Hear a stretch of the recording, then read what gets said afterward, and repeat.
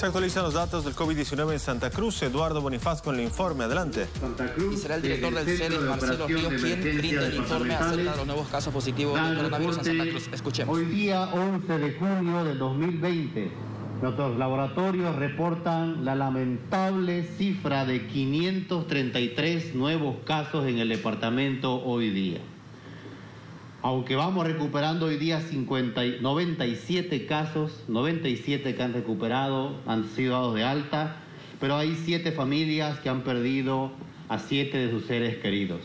Vamos totalizando con hoy, a la fecha, 10.127 casos en el departamento de Santa Cruz. Han generado un acumulado de 19.608 contactos directos.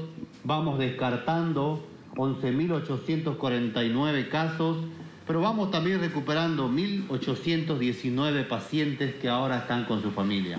Han fallecido a la fecha 250 personas en el departamento por COVID-19. De estos 533 casos están distribuidos en Santa Cruz de la Sierra 448 casos. La Guardia 29, El Torno 21, Cotoca 10, San José 7, Mairana, Pailón y Yapacaní, tres casos respectivamente.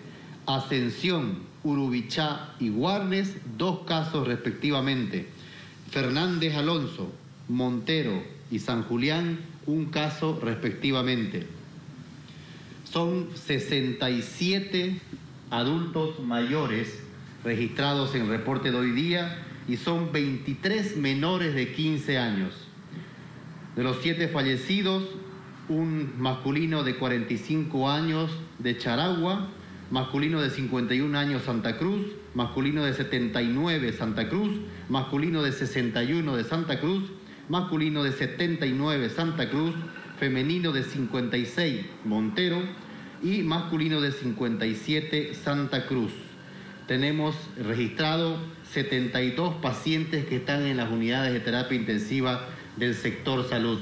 Realmente lamentar en un día especial como hoy de Corpus Christi, donde hemos asistido, de acuerdo a nuestra profesión católica o religiosa, pero es lamentable que seamos portadores de malas noticias. Una noticia que habla de 533 vidas con COVID-19 hoy.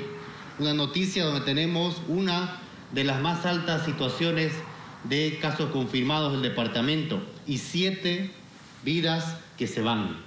Estamos lejos de tener una cifra favorable para cualquier aliento a flexibilizar, flexibilizar alguna medida, eso está claro. Esta noche nos duele esta, esta cifra, nos duele porque son por falta de conciencia de muchas personas.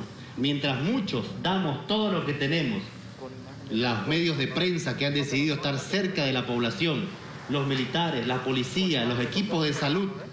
Otros simplemente se han relajado y han decidido no cuidarse y lo peor, no cuidar de los demás.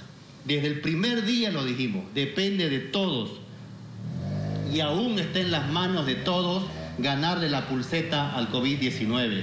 Depende de nosotros, de darle el pecho para proteger la vida de nuestros hermanos, de nuestros padres, de nuestros hijos y nuestros enfermos.